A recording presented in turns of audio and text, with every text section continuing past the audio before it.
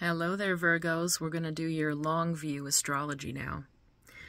So the long view means the outer planets, the transits, or the planetary movement that's going to take years or has already been in motion for years in your chart, activating things in the long term, the big picture, the marathon.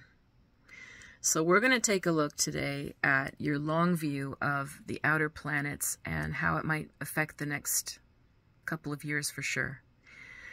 So the big one is Pluto, but I'm actually going to start first with Saturn and Neptune in Pisces because for Virgo, the last several years with your relationships have been not easy, right? Neptune is passing through your seventh house, which is marriage or partnerships, sometimes open enemies. Neptune will bring in all kinds of interesting, artsy, spiritual, or addicted, or mentally not well partners. Yeah. The best case scenario of Pisces is that you meet, you know, some beautiful yoga teacher or meditator or martial artist, uh, a poet, a musician, uh, who is not using substances to get through life, someone who's eating healthy and they're connected to themselves and they're a guiding light. That is your best case scenario for relationship partners right now with Neptune and Pisces. And Pisces is your seventh house. So this is who you need to look for. But instead, what I bet you you're finding is alcoholism, too much weed or other substances, people who have some pretty severe mental health issues, people who, and even if not that, people who are escapist, um, which can be anything from a workaholic to somebody that's on video games all day. And what your tendency to do as a Virgo is to help them and help them and help them and maybe save them and maybe put order in their lives. And you might be with somebody who's driving you mad. Somebody where you feel like you're actually the parent instead of the partner. So with Neptune going through the, there, that's what you're you've been dealing with for several years, and there's a couple more to go. And now Saturn joined it last spring, and it's there for two and a half years. Now that Saturn is a tougher planet, but because Saturn puts a bit of structure, puts a bit of gravitas in the mix, it might be helping you to have more compassion for these types of partners or for the people that are around you. It might also be helping you to select somebody who is healthier. And that's where you need to go with your relationships. You don't save people or fix people. You find someone with compassion and with a connection to their higher power or their creativity and someone that is not running away from their lives, someone who's doing the healing so that you don't feel like you're the fixer. And you can do that healing together. That's what you need to be working on relationship wise.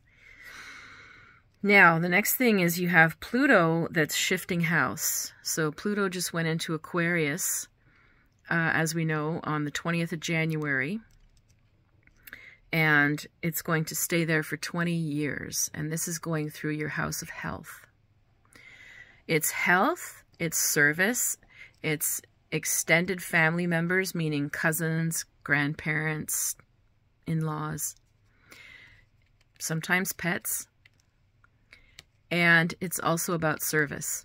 It's the house that you usually rule, is the sixth house. So Pluto going through your sixth house will bring some transformation to your health for sure. Now, you're already probably pretty diligent about your health.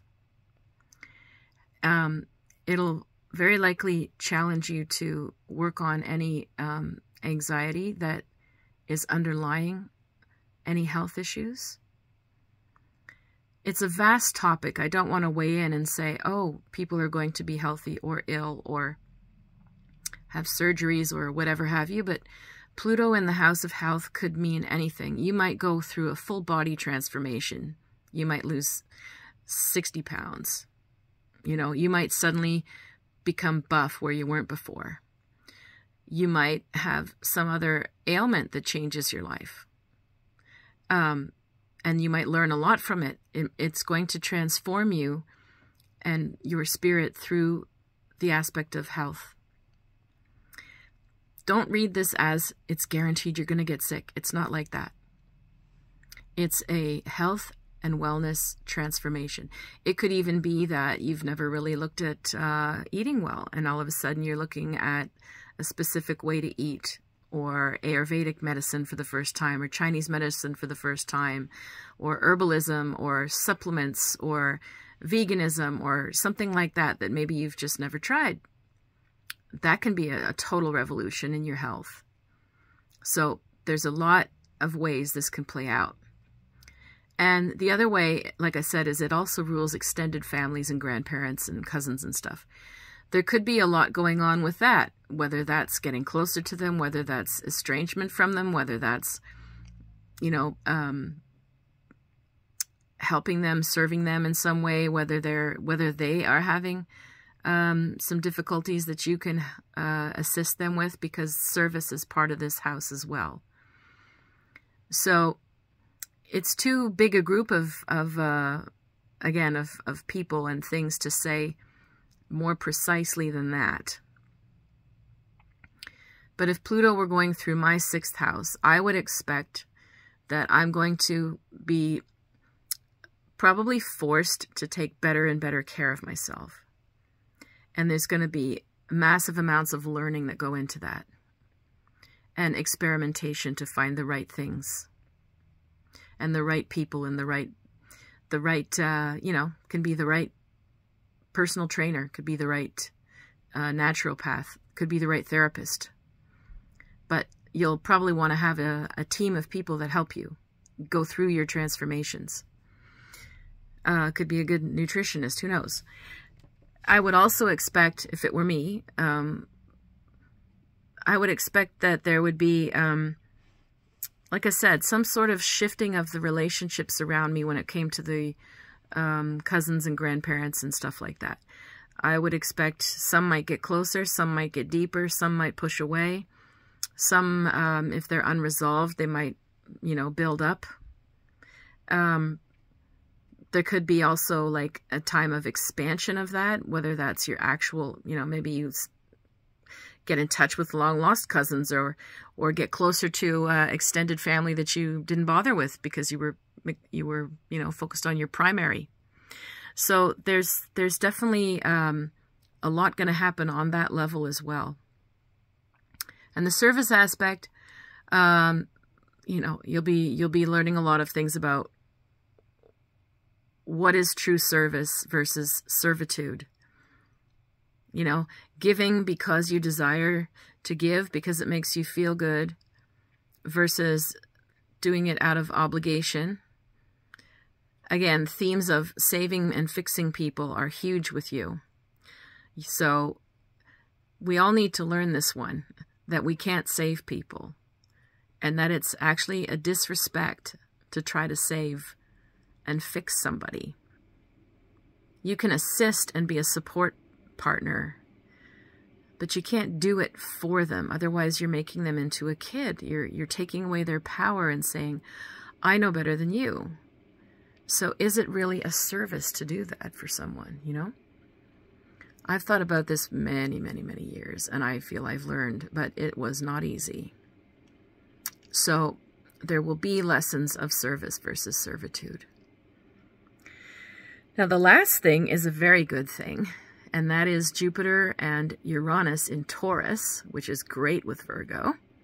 And that's running through your ninth house, which is all about learning, expansion, and travel. Yay, right?